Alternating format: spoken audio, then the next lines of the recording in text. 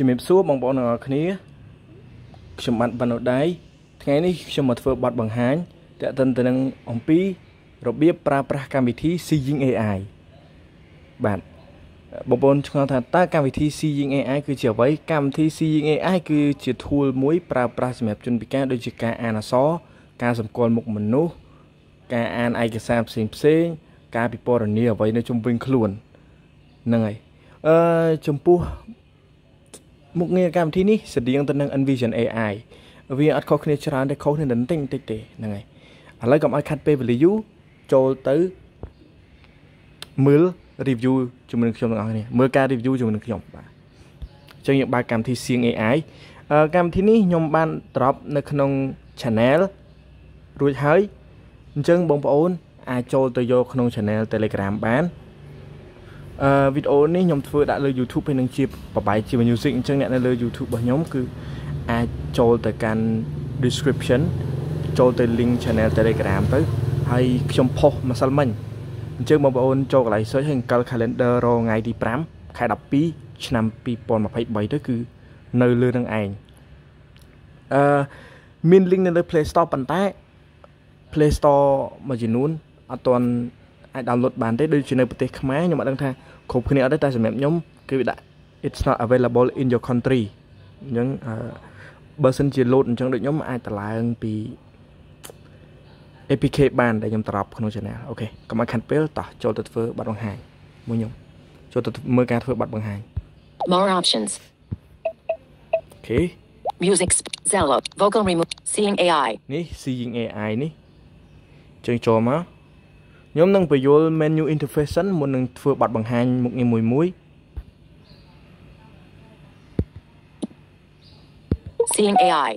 Quick help. Open navigation drawer. កន្លែង Open Navigation Drawer នេះគឺជាកន្លែងដែលយើងអាច explore មុខងារបានដូចជា setting ដូចជាអំពីដូចជាអីជាដើម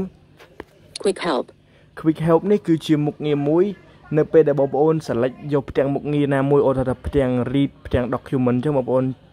ចុចលើពាក្យថា Quick Help នេះនឹងប្រាប់ពីវិធីក្នុងការប្រើប្រាស់មុខងារនីមួយៗបាទ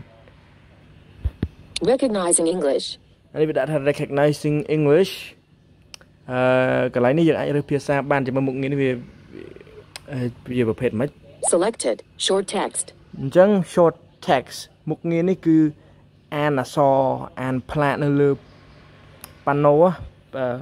លក្ខណៈអានអក្សរមួយម៉ាត់មួយម៉ាត់មិនមែនអាន scan ជាលក្ខណៈឯកសារទាំងមូលទេបងប្អូនក៏វាឃើញអក្សរអីគឺអានហ្នឹងនៅលើនៅលើក្តារនៅលើអីចឹងនៅលើអញ្ចឹងអីចឹងណាហ្នឹងហើយអានេះគឺកវិសប៉ះអីគឺអានហ្នឹងនៅលើអញ្ចឹងនៅលើអីចឹងណានៅលើ TV បងប្អូនចង់លួច scan អក្សរលើ TV គេចុចអីក៏អាច scan បានតាមរយៈមុខងារហ្នឹង Document. document គឺការអានឯកសារ scan ឯកសារ scan សភៅផ្សេងផ្សេងហ្នឹង Product. Product គឺជាការមុខងារមួយ គឺប្រើប្រាស់សម្រាប់ការ scan ផលិតផលផ្សេងផ្សេងតាមរយៈ barcode ឬក៏ QR code Scene. Preview. scene preview មុខងារនេះគឺការពិពណ៌នារូបភាពនៅជុំវិញខ្លួនអូថាតើបងប្អូន scan អីនឹងពណ៌នាហ្នឹងចេញមក Person. person គឺមុខងារមួយប្រើប្រាស់សម្រាប់ការសម្គាល់មនុស្សមុខងារនេះគឺបងប្អូនអាចប្រើប្រាស់ ក្នុងការសម្គាល់មនុស្សដោយផ្ទាល់ថានៅជុំវិញខ្លួនយើងមានមនុស្សប្រមាណនាក់ឬក៏បងប្អូនអាចបង្រៀន seeing AI ដើម្បីឲ្យស្គាល់មនុស្សនឹងបានបងប្អូនអាចថតជាលក្ខណៈរូបរបស់គាត់នឹងទៅឬក៏បើខ្ញុំភ្លេចទេចាំមើលចាំទៅរាវមួយខ្ញុំបើខ្ញុំចាំបានដូចជាអាចបង្ហោះរូបភាពចេញពីទូរស័ព្ទហើយបងប្អូនអាចសរសេរឈ្មោះ note បាននៅពេលដែលបងប្អូន scan ចាំមុខរបស់គាត់គឺ Seeing AI នឹងប្រាប់ថាគាត់មានឈ្មោះអីឈ្មោះអីចឹងព្រោះយើងបានសេវឈ្មោះទុកហើយជាមួយនឹងរូបគាត់បាត់ទៅហើយចឹងណា Currency. currency មុខងារនេះគឺប្រើប្រាស់សម្រាប់ការអានលុយផ្សេងផ្សេងតែជាក់ស្ដែងឥឡូវនេះអត់ទាន់មានភាសាខ្មែរទេមានតែម៉ាឡេមានតែអីតែប៉ុណ្្នឹងថៃអីតិចតួចតែប៉ុណ្្នឹងអត់ទាន់មានលុយម៉ាឡេលុយអីទេហ្នឹងហើយ Color. Preview. color អញ្ចឹងមុខងារនេះគឺការសម្គាល់ពណ៌បងប្អូន ពេលដែលចុច color ហ្នឹងហើយបងប្អូនវាសទូរស័ព្ទនៅជុំវិញខ្លួនទៅ មានពណ៌អីខ្លះគឺនឹងប្រាប់បងប្អូនដែរថាមានពណ៌អីពណ៌អីពណ៌អីចឹងទៅ Handwriting. Preview. handwriting មុខងារនេះគឺប្រើប្រាស់សម្រាប់ការអានជាប្រភេទផ្លាកបោះពុម្ពណាបើនិយាយជាស្រួលនិយាយស្រួលយល់ទេដូចជាប្រភេទកាត poster ប្រភេទកាតថ្លារឹងមួយដែលគេទៅសេបានតនីឬក៏ជាលក្ខណៈគេទៅសេ card certificate ឲ្យកដោឲ្យបងប្អូនណាជាលក្ខណៈ postal card ខ្ញុំប្រមាបញ្ចូលបើអត់អត់ស្គាល់ហ្នឹងហើយ Light. light មុខងារនេះគឺការសម្គាល់ពន្លឺតែមុខងារនេះ ចម្លែកខុសគេបន្តិចថា ការសម្គាល់ពន្លឺវាអត់ធ្វើការអានដូចកម្មវិធីមួយដែលខ្ញុំធ្លាប់ធ្វើវីដេអូឬក៏ music កន្លងមកដូច Sullivan Plus អីវាអត់ធ្វើការអានជាលក្ខណៈសំឡេងថាពន្លឺតិចអឺល្ងិតខ្លាំងល្ងិតតិចភ្លឺខ្លាំងភ្លឺតិចអីគឺនឹងធ្វើការមានជាសំឡេងសំឡេងបែបនេះទូទូទូអញ្ចឹងបើសិនជាសំឡេងនឹងកាន់តែទៀបគឺមុខងារហ្នឹងគឺ អើច្រឡំបើសិនជាសំឡេងកាន់តែទៀបគឺពន្លឺកាន់តែខ្សោយខ្លាំងសំឡេងកាន់តែកើនជាកម្រិតម្ដងតិចម្ដងតិចពន្លឺនឹងកាន់តែភ្លឺខ្លាំងម្ដងតិចម្ដងតិចបើពន្លឺនឹងភ្លឺខ្លាំងគឺសំឡេងនឹងកាន់តែលឺ high ខ្លាំងឬក៏គេថា frequency ឬក៏សំឡេងនេះវាលឺខ្ពស់ទឺអញ្ចឹងណារបៀបអញ្ចឹងអញ្ចឹងអឺគឺមានតែប៉ុណ្ណឹងអូខេមុននឹងធ្វើការបិទបង្ហាញចូលទៅកាន់ menu វាសិនមក Open navigation drawer. នេះ កន្លែងនេះ Me- close. វាមាន close Help. ជំនួយ Feedback. មតិកែលម្អ Settings. ការកំណត់ About. អំពី Collapse. អញ្ចឹងអស់ហើយ Up. Settings. ចូលទៅមើលការកំណត់មក Settings. setting Settings. Currency. US dollars. currency US ដុល្លារនេះ default របស់វាវាយកលុយជាលក្ខណៈអឺអាមេរិកអញ្ចឹង បងប្អូនអាចមកបដូរប្រភេទសម្គាល់លុយនឹងនៅក្នុង setting នឹងបានបើសិនជានេះណាហ្នឹងហើយអត់អីទេ Reorder channels. reorder channel អញ្ចឹងកន្លែងនេះមុខងារនេះបងប្អូនអាច customize អឺចង់ដូចជាមិនសូវប្រើមុខងារណាមួយបងប្អូនអាចបិទមុខងារហ្នឹងគឺនឹងធ្វើការលាក់នៅក្នុងផ្ទាំងម៉ូនុយអាកន្លែងមុននឹងដែលខ្ញុំបង្ហាញមានថាមានអីមានអីខ្លះហ្នឹងបងប្អូនអាច customize បាន Configure shortcuts. configure shortcut អឺនេះខ្ញុំអត់សូវយល់ដែរទេអឺប្រហែលជាស្តៀងគ្នានឹងបងប្អូនអាច explore ខ្លួនឯងបានកន្លែងហ្នឹង Manage lighting. Seeing AI will automatically adjust the camera flash and torch based on lighting conditions. On. manage lighting ការគ្រប់គ្រងពន្លឺអញ្ចឹងមុខងារនេះនឹងធ្វើការមុខងារនេះគឺប្រើប្រាស់សម្រាប់ការឧទាហរណ៍ថាចេះបងប្អូននៅកន្លែងល្ងិតអញ្ចឹងបើសិនជាឧទាហរណ៍បងប្អូនវាសកាមេរ៉ាឬក៏កាន់ទូរស័ព្ទចំកន្លែងល្ងិតអញ្ចឹង flash នឹងធ្វើការបើកអូតូម៉ាទិកបើសិនជាបងប្អូននៅចំកន្លែងដែលមានពន្លឺគឺ flash នឹងធ្វើការបិទអូតូម៉ាទិកអញ្ចឹង setting នេះគឺ default វាគឺបើកបងប្អូនអាចបិទបានបើសិនជាអត់ចង់បានអញ្ចឹងទេ Speech. speech នេះគឺជាចំណងជើង Select text to speech engine. Speech recognition and synthesis from Google. select text to speak engine អឺ default របស់វាវា follow តាមវាវាវា select តាមលំនាំ text to speak របស់យើងអញ្ចឹងដូចខ្ញុំបងប្អូនដឹងស្រាប់ខ្ញុំប្រើ auto TTS អញ្ចឹងនៅពេលដែលតម្លើងកម្មវិធីមកដំបូងគឺប្រើ auto TTS ដើម្បីជាជំនួយ speech អញ្ចឹងបងប្អូនអាចបដូរ text to speak បានដោយគោះលើ select នេះគោះលើនេះ Spe- select text to speech engine. Speech recognition and synthesis from Google. គោះក្នុងហ្នឹងមកបងប្អូនអាចមានមានជំរើសមានជំរើសអឺជ្រើសរើស speech បាទ Select voice. Voice 35. English. United States. អញ្ចឹងបើសិនជាបងប្អូនយក auto TTS អញ្ចឹង voice នៅក្នុង auto TTS ទាំង lain គឺនឹងមាននៅក្នុងនឹងដូចគ្នា load select voice អញ្ចឹងលេខរៀង voice របស់ speak service by Google របស់ខ្ញុំគឺលេខរៀងទី35អញ្ចឹងខ្ញុំមិនបាច់ទៅ select អីវែងឆ្ងាយទៀតទេ Adjust speech for announcements. This setting will not affect talkback users. អឺ adjust speech announcement ការគ្រប់គ្រងលបឿនអត្រានិយាយនៅលើ speak អឺ Sing AI អញ្ចឹងអាការបដូរ speech នេះគឺបានបញ្ជាក់ហើយមានប៉ះពាល់ទៅលើ talkback ទេហើយកន្លែងនេះ 32%. គឺជារបាំងអង្កលក្នុងនេះអស់ហើយ setting អត់មានអីច្រើនទេ Collapse. Back. Show a text. Seeing AI. អញ្ចឹងដោយសារខ្ញុំអត់ដឹងរកអក្សរអី scan បានទៀតអញ្ចឹងប្រហែលជាមុខងារនេះខ្ញុំធ្វើការម្លងពីរចោល document និង short text អញ្ចឹងសង្ឃឹមថាបងប្អូននឹងយល់នៅអ្វីដែលខ្ញុំបញ្យល់ដោយសារអត់មានអក្សរអត់មានអី scan ទេ អឺនេះខ្ញុំព្យាយាមសិនអឺអត់មានអក្សរអត់មានអី scan ទេណានេះអត់មានទេអញ្ចឹងខ្ញុំសង្ឃឹមថាបងប្អូនយល់មុខងារនេះការអានអក្សរខ្លីៗនិង scan ឯកសារគឺស្តៀងទៅនឹងអឺ Sullivan Plus ដែលខ្ញុំបានធ្វើគឺ scan ឯកសារហ្នឹងបងប្អូនចុចលើ document ហ្នឹងហើយបងប្អូនថតឯកសារទៅនៅពេលដែលចំវា Sing AI ពេលខ្លះអត់ប្រាប់ដែរថាអង្គលស្ដាំអង្គលឆ្វេងឡើងលើចុះក្រោមតែ វាមិនថាអត់សោះទេនៅកំណែអាប់ដេតច្រើនទៀតអញ្ចឹងណាចឹងខ្ញុំធ្វើការអំឡងមុខងារនេះសិនទៅ Quick help. Recog selected. Document. Product. កន្លែង product នេះខ្ញុំអត់សូវយល់ទេថាគេប្រើដើម្បីមិនដើម្បីមិនអញ្ចឹងណាអញ្ចឹងខ្ញុំចូលឲ្យបងប្អូនដឹងមុខងារនេះសិនទៅ Product. Do- Chart. Recognizing barcodes. នេះ default របស់វាគឺបងប្អូនវាលោតពាក្យថា recognizing barcode អញ្ចឹងបងប្អូនយក product ណាដែលមាន barcode ហើយបងប្អូនអាច scan ទៅដោយសារខ្ញុំអត់មានកន្លែង recognizing barcode នេះខ្ញុំបាននិយាយថាស្គាល់តាមរយៈ QR code អញ្ចឹងបងប្អូនជួយពាក្យថា recognizing barcode Code type. នេះវាចេញ code type ប្រភេទ code Code type. Barcodes are checked. Barcode. នេះ Enhanced QR code. enhance QR code code ចំពោះ QR នេះបងប្អូនដែលជាអ្នកពិការខ្ញុំណែនាំឲ្យប្រើដូចជាយើង scan QR code កាតអីចឹងទៅ អញ្ចឹងយើងអាចដូរប្រភេទ code បានបើស្អីបងប្អូនមាន product មាន QR code អត់មាន barcode ណាបងប្អូនចង់ scan ជាលក្ខណៈ QR បងប្អូនអាចគូសលើ barcode នេះដើម្បីដូរបាន Back. Product. Seeing AI. Short text. Do- select scene. Preview. នេះមុខងារ scene នេះចាំមើល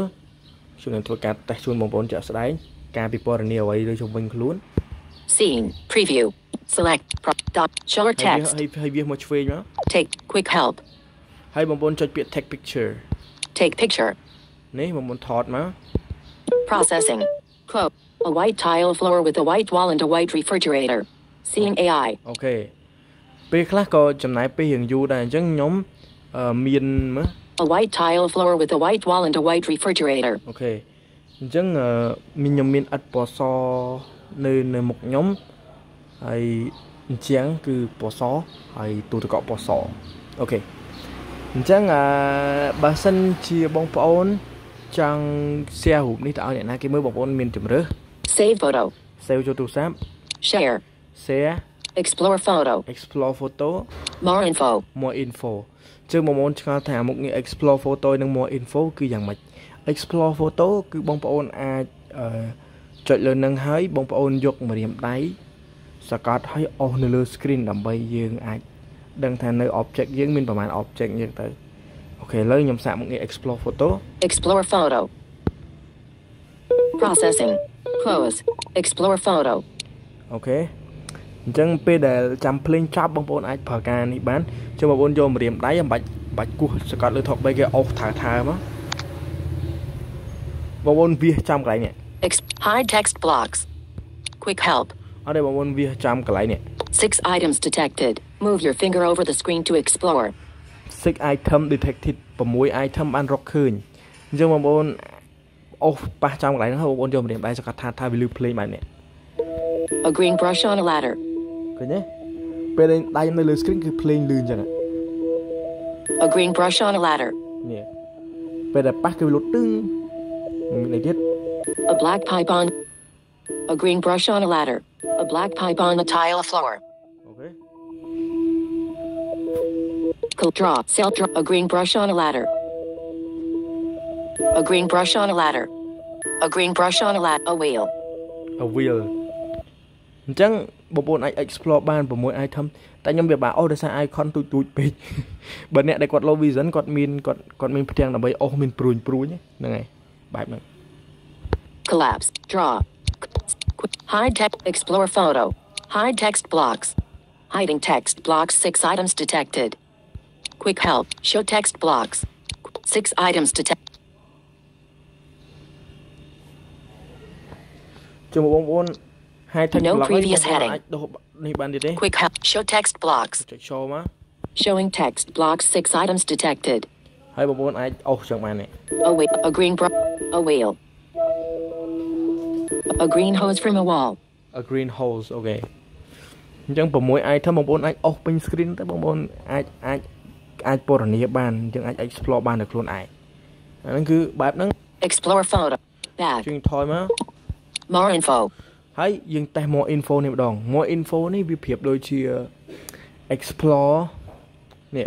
Explore photo. explore photo នេះដែរអញ្ចឹងនឹងធ្វើការរៀបរាប់ automatic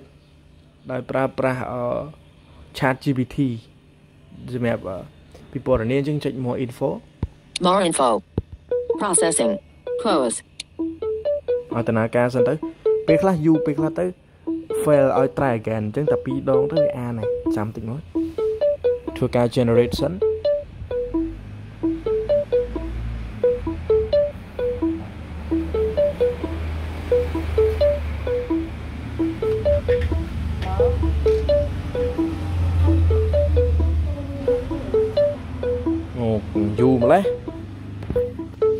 Sorry, something went Okay. wrong. Please try again in a few moments. អញ្ចឹងពេលខ្លះទៅក៏ចេញអញ្ចឹងដែរតែអត់អីបងប្អូនសុំធ្វើការ generate ម្ដងទៀតមក Collapse. Okay. Seeing a collapse. More info. Processing. Close. ពេលខ្លះទៅក៏ពិបាកដែរ A motorcycle is parked in a garage, its wheel prominently visible. Nearby, a black pipe lies on the tile floor. A person is holding a green plastic container, and a green chair with a white object on it is also in the vicinity. A green hose extends from the wall, and a green brush is resting on a ladder. The scene suggests a space dedicated to vehicle maintenance, with various auto parts and tools at hand. More info. អញ្ចឹងពណ៌នាថានៅជុំវិញខ្លួនខ្ញុំមាន អឺមានដូចជាខ្ញុំថតជាប់មនុស្សកាន់ផ្លាស្ទិកកាន់អីដែរមុនហ្នឹងអឺដូចជាមានអ្នកកាន់ផ្លាស្ទិកហើយនៅហ្នឹងគឺមានច្រាស់អឺសម្រាប់សម្អាតផ្ទះពណ៌បៃតងដូចជាអំបោះហ្នឹងឯងហ្នឹងហើយអំបោះពណ៌បៃតងអីអីជាដើមហ្នឹងហ្នឹងគឺមុខងារ more info បាទឆាត់ប្រើប្រាស់ chat GPT តែពេលខ្លះបងប្អូនអាច explore by hand បានអាប្រើ explore photo ហ្នឹងអស់ថាថាលើហ្នឹងទៅមានម៉ូតូចតខ្ញុំថតជាប់ម៉ូតូជាប់អីដែរតា អាហ្នឹងខ្ញុំអង្គុយនេះខ្ញុំអង្គុយចាំជាងប៉ុន្តែកាមេរ៉ាខ្ញុំលែន3អញ្ចឹងទាញមកឃើញ view ទាំងអស់អូខេជើងបងប្អូនអាចនេះ More info. Share. អាច share បាន A motorcycle is parked in. Collapse. យើងអាច share ជារូបនឹងបានមកយកឲ្យបងប្អូនយើងផុសលើ Facebook អីលីអញ្ចឹងណាបាទ Back. អញ្ចឹងថយមក Collapse. ថយ Back. ទៀត Quick help. Tip. Shut. Dot. Prod. Select. Person. នេះ person Person. Selected. ហើយបងប្អូនវាមកឆ្វេងវិញ Prop. Doc. Show. Switch. Take picture. Face recognition. នេះ face recognition នេះបងប្អូនអាចបង្រៀនអឺសៀង AI ឲ្យស្គាល់បាន ដែលយើងអាចថតរូបក៏បានយើងអាចអាប់ឡូតហ្វូតូក៏បានឬក៏បងប្អូនអត់ចង់បង្រៀនទេបងប្អូនចង់ scan មុខមនុស្សអញ្ចឹងដោយសារឥឡូវនេះវា select back camera នៅពេលដែលបងប្អូនសង្កល់ឃើញមនុស្សនឹង talk back នឹងធ្វើការ load one face near bottom one face low left one face right one face center អញ្ចឹងយើងអាចមានមុខងារបដូរមកកាមេរ៉ាខាងមុខឥឡូវខ្ញុំ scan មុខខ្ញុំបាទ Quick help. Face recognition. Take picture. Switch to front camera. One face near left edge. One foot Yeah. away. One face near center. One foot. One face near left edge. One foot away. One face near center. One. F- take picture. One. One processing. Close. អញ្ចឹងបងប្អូនអឺ នេះទៅបងប្អូនបើសិនជាចាំមុខ á វាអានអញ្ចឹងហើយបងប្អូនថត take take picture មកអញ្ចឹងឲ្យ process សិនទៅដោយសារខ្ញុំនៅខាងក្រៅសលេងញ៉ៃញ៉ៃតិចណាបងប្អូនអត់អីទេអញ្ចឹងឲ្យដំណើរការសិនទៅដោយសារនេះ AI ទេបងប្អូនអញ្ចឹង process រៀងយូរបើសិនជាបរាជ័យបងប្អូនម្ដងទៀតមក Sorry. Something went Mhm. wrong. Sorry. Navigate up. S- Collapse. ជាមុនថយវិញ Back. បើអត់មានអូខេទេកន្លែងនេះហ៎ Switch. Take picture. Face recognition. Switch to back camera. អឺ Take picture. Switch to back camera. ពេលបងប្អូនថយហើយអត់មាន Zero face it. One face near center. One face near left edge. One foot away. Take picture. Processing. No people could be detected. Huh? Seeing AI. ម្ដងទៀត No people. Save photo. Share. ម្ដងទៀត Back. ចាំមុខ Switch. Zero faces. One face near left edge. Face recognition. Take picture. One face near center. One- Process. No people could be detected. Seeing AI. No people could. អឺពិបាកថតដល់ខ្ញុំមើលទៅរកកន្លែងវេលា Save សិន photo. Back. ចាំតិច One face near center. One foot away. Face recognition. Take picture. មើល One face near bottom edge. Two feet. One face near bottom left. Two feet. One face near left edge. One foot away. វាប្រាប់យើងថាប្រហែលចំហៀន away អញ្ចឹង one one feet away ចាំតិច One face near bottom left. 2 feet away. One face near bottom edge. One face near left edge, 1 foot away. Processing. 22 year old man with brown hair looking neutral. Seeing AI. អូខេ អេពលឹះពេកទៅហ្នឹង22ឆ្នាំមិនប៉ុណ្ណឹងទេណាអូទៅលេងទេបងប្អូនអើយតែពេលខ្លះកុំជឿពេក AI ហ្នឹងគឺ bully យើងសាហាវណាស់បាទអឺហ្នឹងហើយគឺមានតែប៉ុណ្្នឹងឥឡូវយើងមាន22 year old. Save. Share. Can you say- Collapse. អឺបើសិននេះខ្ញុំភ្លេចប្រាប់បងប្អូនតិចមានជាកន្លែង document ណាបើសិនបងប្អូន scan ហើយនឹងមានមាននឹងមានពាក្យ more info បងប្អូនអាចទៅសេសួរ chat GPT ឲ្យសង្ខេបបានសួរទៅទៅនឹងឯកសារនឹងបានខ្ញុំអត់មានឯកសារនៅចិត្តខ្លួនខ្ញុំអញ្ចឹងពិបាកតិចបាទអញ្ចឹងសង្ឃឹមថាបងប្អូននឹងយល់ Back. បាទយើងថយមក Seeing AI. Switch to back. Short. What prop? See. Select current. Color. Preview. color Color. Preview. Black. Pink. White. អូខេនេះ Gray. មើល White. អូនអូខេ Gray. Currency. Currency. Selected. currency នេះគឺការសម្គាល់លុយបងប្អូនគ្រាន់តែយកលុយមកដាក់ចំពីមុខមកគឺនឹងធ្វើការអានតែអាចអាចបដូរកាមេរ៉ាបានជួយស្ដាយមែនតើហ្នឹងហើយ Color. Handwriting. Preview. handwriting នេះខ្ញុំអត់បានតេស្តទេដោយសារខ្ញុំអត់មាន postal card ទេ Light. អញ្ចឹង light ខ្ញុំនឹងធ្វើការតេស្តខ្ញុំធ្វើការបញ្យល ក្បាល music ឬក៏ video ហើយហើយអញ្ចឹងខ្ញុំអត់បាននិយាយទេព្រោះនិយាយទៅបងប្អូនស្ដាប់បានទេព្រោះអីវា beat អញ្ចឹងខ្ញុំធ្វើការតេស្តដូចខ្ញុំប្រាប់អញ្ចឹងបើសិនជាវាលឺខ្សោយមែនតើមានន័យថាកន្លែងនេះគឺល្ងឹតខ្លាំងបើសិនជាវាលឺសំឡេងកាន់តែខ្ពស់បន្តិចទៅបន្តិចទៅពន្លឺកាន់តែបៀនតាមនឹងដែរឥឡូវខ្ញុំដាក់ឲ្យ1 2 3 Light.